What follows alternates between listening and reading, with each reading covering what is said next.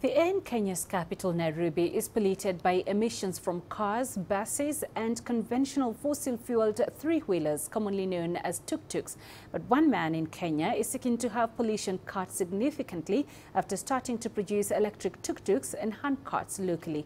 CGTN's Enoch Sokolia met with the creator, Kenneth Gwantai, to find out more.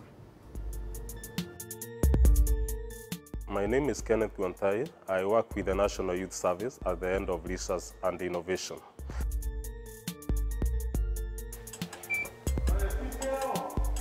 Uh, the projects you see here started just as an idea on how to revolutionize uh, the conventional fossil fuel three-wheelers we have in Kenya and across Africa.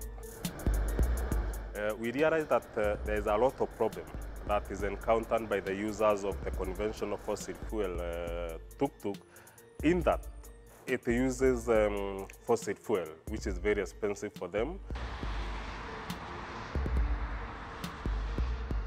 Secondly, the tuk-tuk that we have in our market pollute the environment through carbon emissions.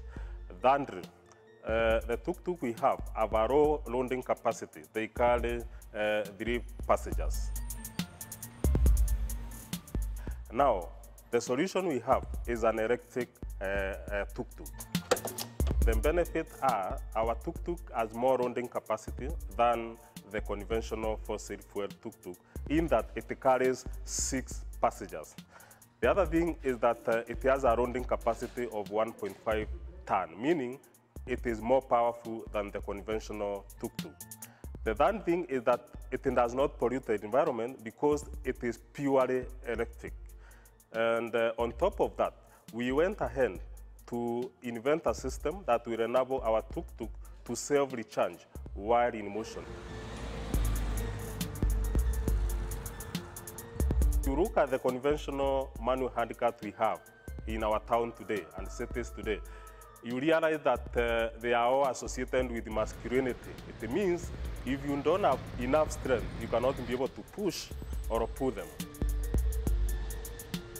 But now, the electric handcart we have is more powerful because you don't need to push or pull. All what you need to do is drive as you walk.